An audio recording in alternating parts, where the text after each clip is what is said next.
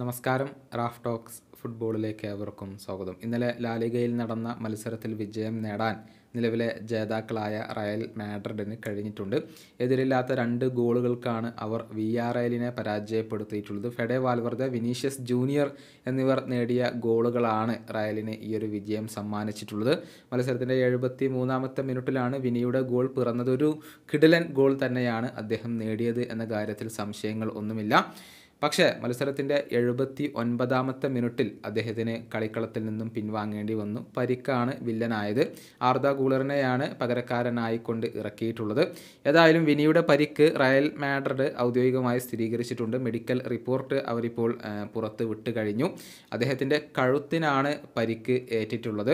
പക്ഷേ പരിക്ക് എത്രത്തോളം ആഴമുള്ളതാണ് അതല്ലെങ്കിൽ എത്ര കാലം വിനീഷ്യസ് ജൂനിയർ പുറത്തിരിക്കേണ്ടി വരും എന്ന കാര്യത്തിൽ റയൽ മാഡ്രിഡ് വിവരങ്ങൾ ഒന്നും തന്നെ നൽകിയിട്ടില്ല. കൂടുതൽ പരിശോധനകൾ അദ്ദേഹത്തിന് നടത്തുമെന്നും റയൽ മാഡ്രിഡ് ഇപ്പോൾ അറിയിച്ചിട്ടുണ്ട്. ഏതായാലും ഇത് ഏറ്റവും കൂടുതൽ ആശങ്ക നൽകുന്നത് ബ്രസീലിനും അവരുടെ ആരാധകർക്കുമാണ്. കാരണം ഇനി ഇന്റർനാഷണൽ ബ്രേക്കാണ് രണ്ട് വേൾഡ് കപ്പ് യോഗ്യതാ മത്സരങ്ങൾ ബ്രസീൽ കളിക്കുന്നുണ്ട്. ഒക്ടോബർ പതിനൊന്നാം തീയതി നടക്കുന്ന മത്സരത്തിൽ ബ്രസീലും ചിലിയും തമ്മിലാണ് ഏറ്റുമുട്ടുക. ഒക്ടോബർ പതിനാറാം തീയതി നടക്കുന്ന മത്സരത്തിൽ പെറുവിനെതിരെയാണ് ബ്രസീൽ കളിക്കുക. ഈ മത്സരങ്ങൾക്കുള്ള സ്ക്വാഡ് ഡൊറിവാൽ ജൂനിയർ പ്രഖ്യാപിച്ചപ്പോൾ അതിൽ ഇടം നേടാൻ വിനീഷ്യസിന് കഴിഞ്ഞിരുന്നു. പക്ഷേ ഇപ്പോൾ അദ്ദേഹം കളിക്കുമോ എന്നുള്ള കാര്യം സംശയത്തിലാണ്.